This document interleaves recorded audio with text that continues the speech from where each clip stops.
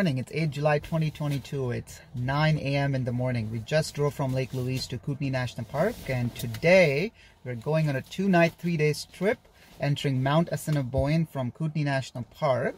Mount Assiniboine is a provincial park in BC and there's multiple ways to enter it. Uh, we have done this uh, trail as a part of our GDT journey, uh, session C, but this time we are entering it from, uh, we are entering it to the core area from a trail which is not well traveled. So this trail is called Surprise Creek uh, trail and it uh, traverses uh, about 12 kilometers before you reach the first campsite which is the Surprise Creek cabin and then after the Surprise Creek cabin you have to go up about 10 to 12 kilometers to Rock Lake which will take you up to Alpine and then from Rock Lake you go over Ferro Pass entering um, the core area of Mount Assiniboine where all the hustle bustle is. So we're actually not going to be entering the core area, but we're going to be going over the Ferro Pass and overseeing the Mount Assiniboine. But today we have a long day, so that's why we're starting a bit early. It's about 24 kilometers uh, should be the day today, and uh, we're just going to Rock Lake in Alpine and camp there for tonight. All right, folks, this is KP. There's Melody, she's getting her gaiters ready from KMP Hikes. See you on the trail. You know, Melody is such a morning person. You can see right on her face. I mean, how much she loves the morning. Versus me, I'm fairly opposite. I don't, I don't really love mornings.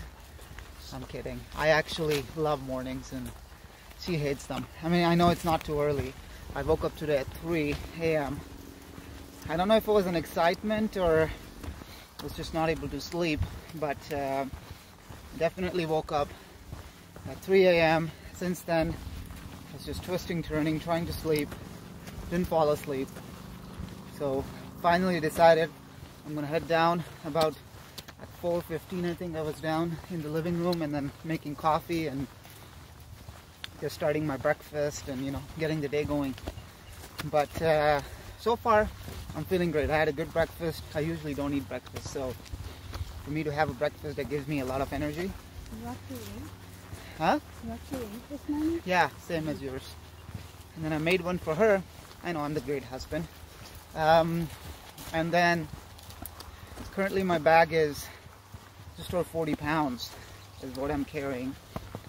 And the reason is, you know, her hip is is not that great. She's still trying to get used to all the hiking. So I don't want to put too much weight on on her body while she while she walks, you know.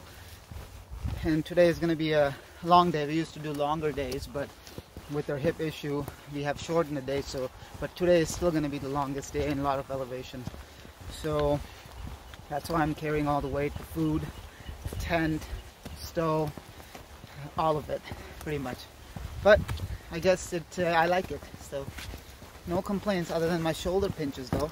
And that's the other thing I was going to ask you folks. If someone has a trick, I don't know what it is, and I try to do a bunch of different things, but it does not work. For some reason, right here, when the pressure goes with this back, my shoulder starts pinching, and then it becomes very uncomfortable to carry the load. So if you guys have a trick, message me. You know, put that in the comment. Hopefully it'll help me out.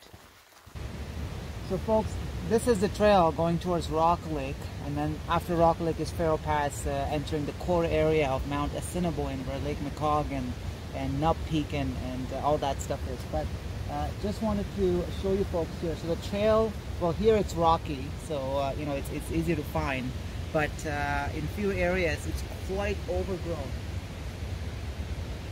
That's where we came from.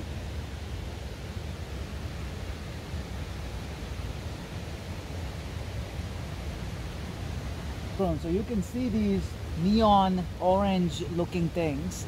Uh, so those are really helpful. Markers? uh, yeah, neon uh, markers. And these are really, really helpful. Not just in winter, but also in summer.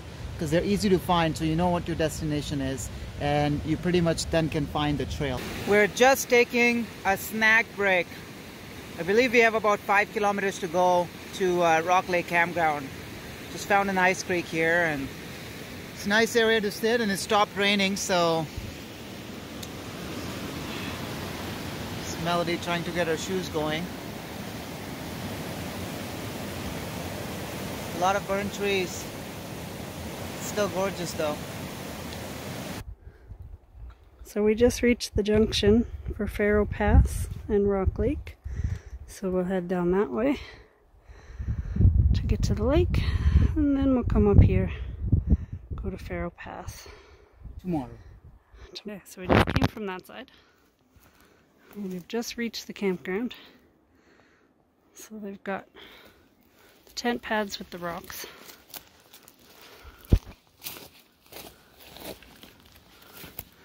Brand new outhouse. It's a clear roof, which is nice. That's the second tent pad. And the third.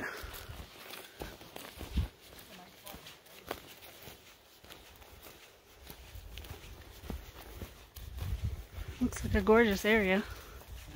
Scouted three sites so far. You can see the fourth Yeah. one.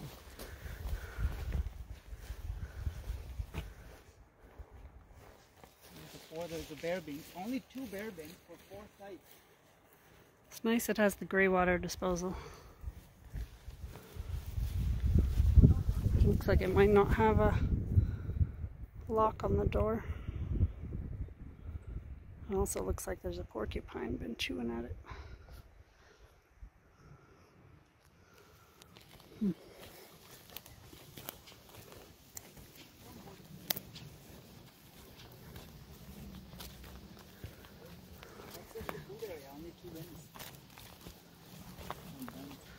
There's the designated fire pit. Nice location. I think there's only three sites. Because there's only two bear bins. It's odd. Normally they put one extra, not one less.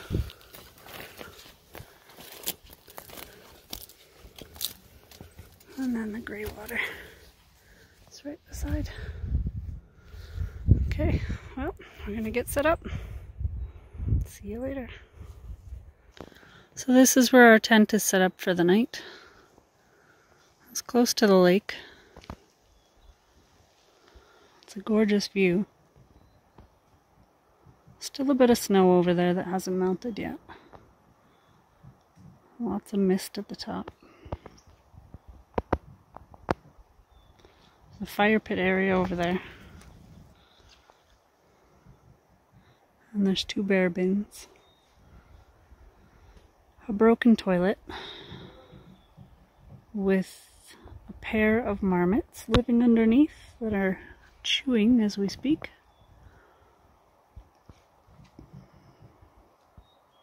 But otherwise, pretty good.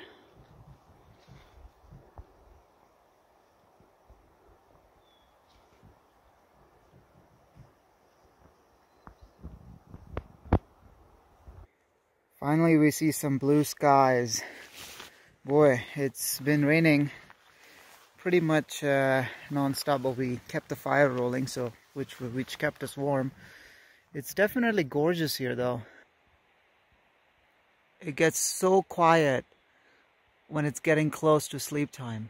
We just wanted to come and see the reflection here at the rock lake. Look at this, folks. Beautiful. Zoom in, there are the reflections. Absolutely gorgeous. And just that mist looks beautiful. Blue sky on this side. Good morning. It's 6 a.m. Saturday morning today, day two. Just gonna show you guys the views right outside our tent here, just at Rock Lake. Look at that sunrise. Gorgeous. All right. So we are heading up to Ferro Pass right now, and we have encountered some snow on the way. Uh, we should be very close though, because it's about 2,200 meters on the map. It said, so we're just gonna reach the 2,200 mark, so we should be close. Uh, nothing too bad. The snow is a bit soft, uh, but I'm glad that uh, it's not covered in snow, so we're not post holing. But it's refreshing on the feet. All right, folks. See you at the pass.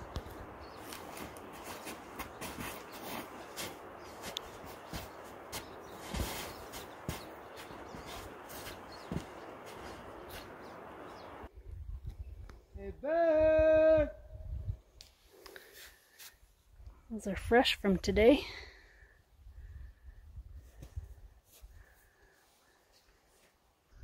way down there is Rock Lake where we just came from.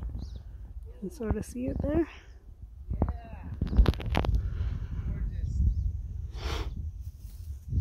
And we're just reaching Ferro Pass.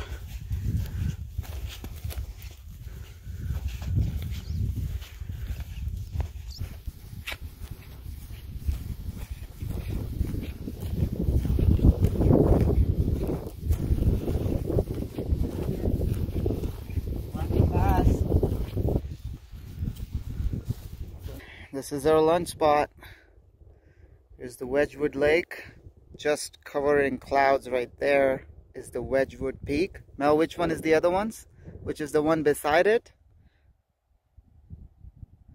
Marshall? Marshall right there. And then down here is where the lake is. Wedgwood Lake.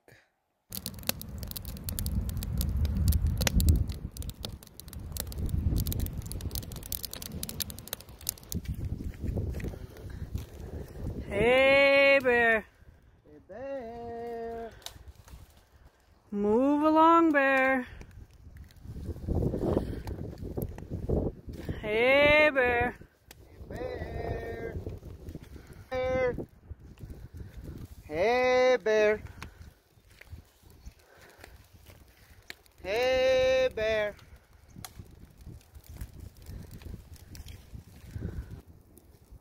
Hey, bear.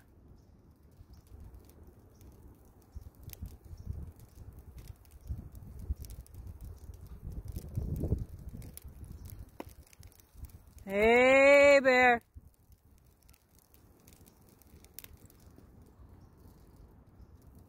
Move along. Hey, bear. Go. Hey, bear.